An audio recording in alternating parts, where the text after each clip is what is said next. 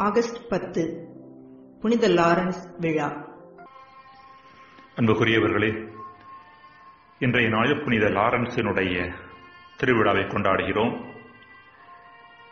இவரது வாழ்வை ஒரே வரியில் சொல்ல வேண்டுமெனில் சரியான காரணங்களுக்காக சரியான முறையில் துன்பங்களை ஏற்பதை சிடத்துவம். இதை இவரது வாழ்வு நமக்கு கற்றுத்தருகின்றது. ரோமை திரு அவையின் தொடக்க காலத்தில் வாழ்ந்தவர் திருத்தொண்டர் லாரன்ஸ் வலேரியன் என்ற ரோமை அரசனது காலத்தில் வாழ்ந்தவர். வலேரியனது காலத்தில் கிறிஸ்தவர்கள் வழிபாட்டிற்காக கூடக்கூடாது என்றும் கல்லறைகளுக்கு சென்று ஜெபிக்கக்கூடாது என்றும் சட்டம் இருந்தது. அதை மீறி செயல்பட்டவர்கள் கொடூரமாக துன்பப்படுத்தப்பட்டதுடன் கொலை தண்டனைக்கும் ஆளாயினர். அரசாணை நடைமுறையில் இருந்த வேளையில் கிபி இருநூற்றி ஐம்பத்தி எட்டாம் ஆண்டு ஆகஸ்ட் ஆறாம் நாள் திருத்தந்தை இரண்டாம் சிக்ஸ்துஸ் தமது திருத்தொண்டர்களுடன் கலிஸ்தஸ் என்பவரது சுரங்க கல்லறையில் வழிபாடு செய்து கொண்டிருந்தார். எதிர்பாராத விதமாக வந்த ரோமை படை வீரர்கள் அவர்களை சுற்றி வளைத்தனர்.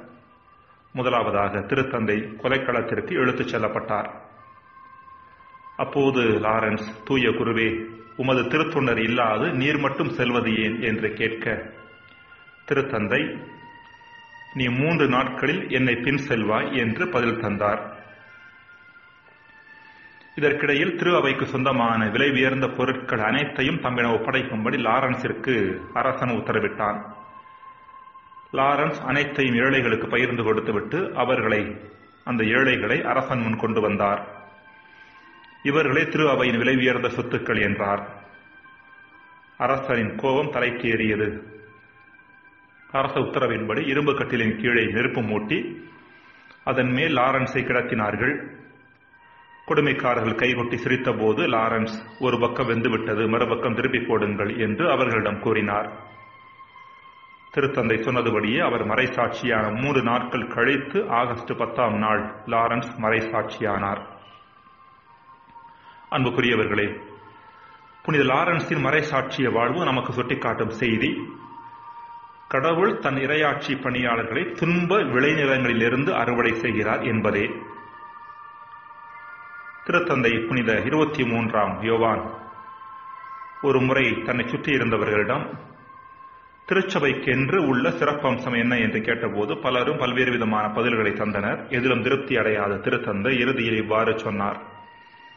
திருச்சபைக்கு என்று உள்ள மிகச் சிறப்பான அம்சம் மகிழ்ச்சி அதுவும் சிலுவையினால் வரும் மகிழ்ச்சி என்று.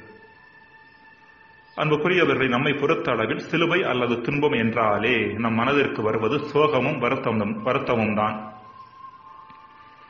ஆனால் அதே நேரத்தில் துன்பம் மகிழ்ச்சிக்கான காரணமாகவும் இருக்க முடியும் என்பதை திருத்தந்தை சுட்டிக்காட்டும் செய்தியாக இருக்கிறது.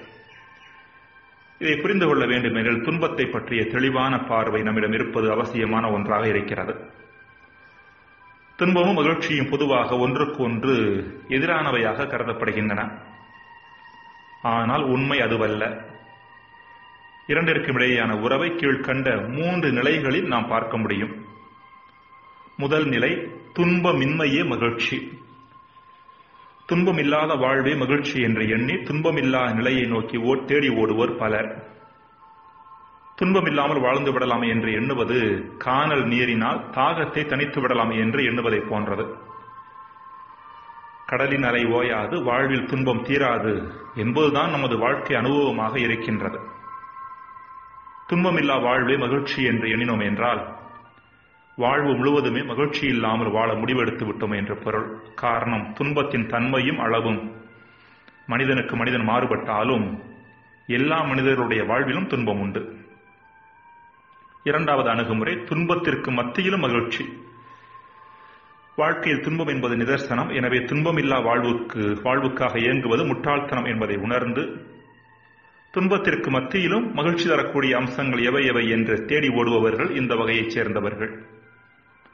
இம்மனநிலை கொண்ட மனிதர்கள் துன்பத்தின் மட்டில் கொண்டிருக்கிற பார்வை எதிர்மறையானது. துன்பம் தவிர்க்கப்பட இயலாது என்பதை உணர்ந்து அதை வேண்டா வெறுப்பாக அணுகிறவர்கள் இவர்கள். மூன்றாவது அணுகுமுறை துன்பத்தின் வழியே மகிழ்ச்சி. துன்பம் என்பது இன்பத்தின் மறுபுறமே என்பதே இந்த பார்வை. இன்பம் என்ற பலாச்சுளையை தனக்குள் மறைத்து கரடு முரடாய் தன்னை வெளிக்காட்டும் பலாப்பழமே துன்பம். இதை உணர்ந்தவர்கள் ஞானிகள் மக்களுக்கு இந்த செய்தியை சொல்பவர்களும் ஞானிகளே. உண்மையான மகிழ்ச்சி துன்பம் இல்லாமல் சாத்தியமில்லை என்பதே இவர்கள் கற்றுத்தரக்கூடிய கசப்பான பாடமாக இருக்கின்றது. இன்றைய நற்செய்தியில் கோதுமை மணி பல மடங்கு பலன் தர மண்ணில் விழுந்து மடிவது அவசியம் என்கிறார் இயேசு. அதேபோல உண்மையான மேலான மகிழ்ச்சியை சுவைக்க விரும்புபவர்கள் துன்பத்தை எதிர்கொள்வது அவசியமானது. இதைத்தான் புனித லாரன்ஸின் வாழ்வு நமக்கு கற்றுத்தருகின்றது. ஜெபம். இறைவா எங்கள் துன்பங்களை மகிழ்ச்சிக்கான வாய்க்கால்களாக மாற்றிக்கொள்ளும் ஞானத்தை தாரும். ஆமேன்.